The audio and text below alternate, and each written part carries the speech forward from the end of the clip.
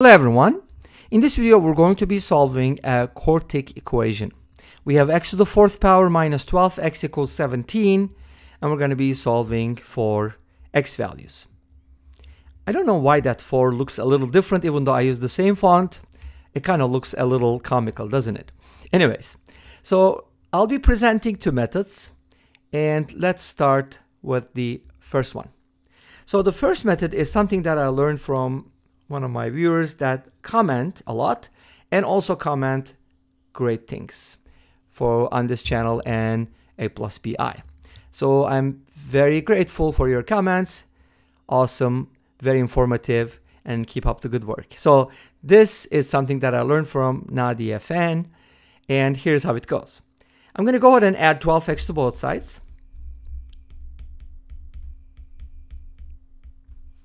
And then here's what we're going to do. We're going to make the left-hand side, we're going to turn it into a perfect square. And by adding something appropriate. But we have a quartic, x to the fourth. So obviously it's going to look like x squared plus some constant to the second power. Make sense? So in other words, I'm going to do the following. I'll be adding 2kx squared plus k squared to both sides so that the left-hand side become x squared plus k quantity to the second power. Make sense? And of course, I have to do the same thing on the right-hand side. Since I have a quadratic, let's add that first and then bring in the 12x, right? And then I have a constant 17, and then I can just add the k squared. So far, so good? Awesome. Now, these two things are equal. And what does that mean? I want my left-hand side, well, I don't want, it's already there. So the left-hand side is a perfect square. That's perfect. So is the right hand side. But how can something that looks like this be a perfect square? Easy. That's a quadratic and quadratics are perfect squares if their graphs are tangent to the x-axis or in other words, they are they have a discriminant of zero, right? If delta is zero, we have one real solution and that's when they where they touch the x-axis. So delta must be zero for the above quadratic. Let's go ahead and write it down. Delta, which is the discriminant, is b squared minus 4ac. c is 17 plus k squared, which is our constant. And guess what? This gives us a cubic equation, right? Isn't that awesome?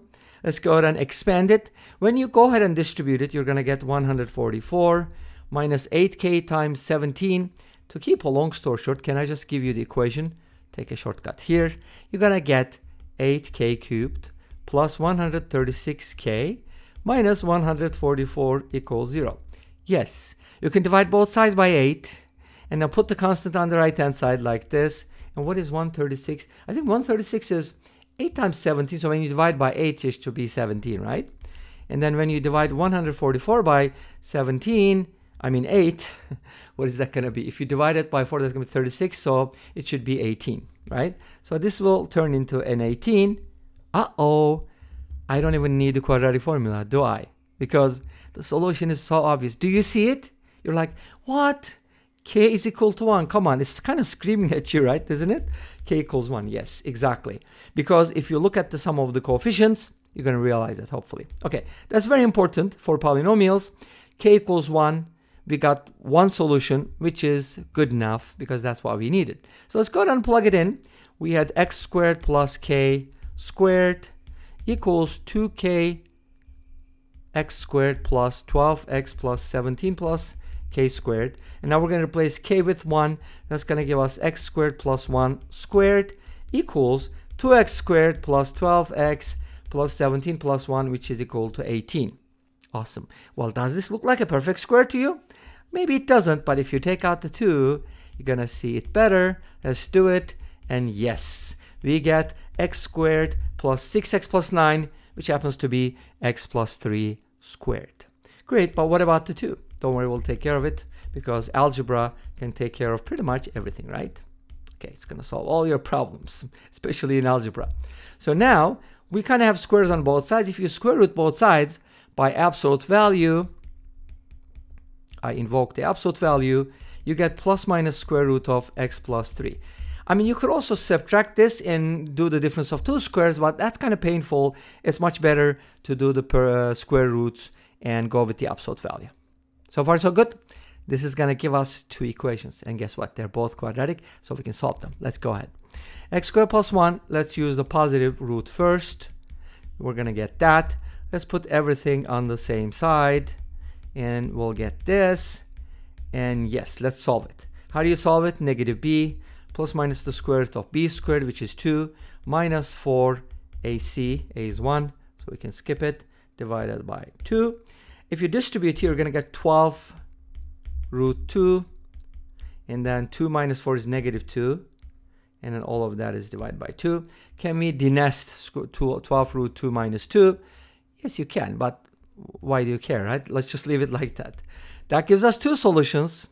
Great, but this is a quartic, right? There should be two more. Where do they come from? From the minus sign. Yes, that's what it is. So let's go. We have x squared plus 1 equals the negative root 2 multiplied by x and then 3 root 2.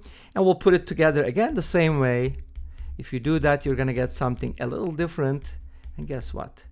When you try to solve it, you're going to realize something. Did you see that?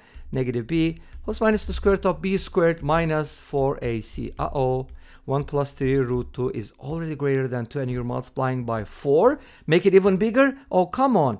This is going to turn into complex solutions. And how do you solve them? Let's go ahead and take a look. You can just negate the inside and take care of it. So this is going to look like negative 12 root 2 minus 2. If I didn't make any mistakes. And then this guy here is negative, obviously. So if you multiply it or write it as negative 1 times a positive number, that's going to give you negative 1 times this. And then when you square root it, you're going to get an i from here with the plus minus sign. Both square roots are considered. And you're going to get something that looks like this, I think, right? 12 root 2 plus 2 under the radical multiplied by i. All of that is divided by 2. And in total, they should give you all the solutions. Now, I gotta show you the second method real quick, and then I'll show you some results from another source. Okay, so here's the second method real quick. If you go ahead and write this expression, and I wanna be able to basically factor it, okay? How do I factor this expression? It's missing a lot of terms, so that's kind of nice. Well, I want to factor it as x squared plus ax plus b. That's one of the factors. And the other one, since I don't have an x cube, I can use x squared minus ax. Notice that x cube is going to cancel out during the process. And of course, the last term, the constant term, you can use a c, but I want to assign negative 17 over b. So when I distribute, it's automatically going to give me negative 17. And this just reduces the number of variables you have to deal with. And from here, you're going to get some equations and something that looks like this, you know, b minus a squared minus 17 over b x squared minus blah, blah, blah. You can do the rest. And you're going to find the a to be root 2 and b to be 1 plus 3 root 2 as before. And you can go ahead and solve each quadratic equation from here. And this brings us to the end of this video. Thank you for watching. I hope you enjoyed it. Please let me know. Don't forget to comment, like, and subscribe. I'll see you next time with another video. Until then, be safe, take care, and bye-bye.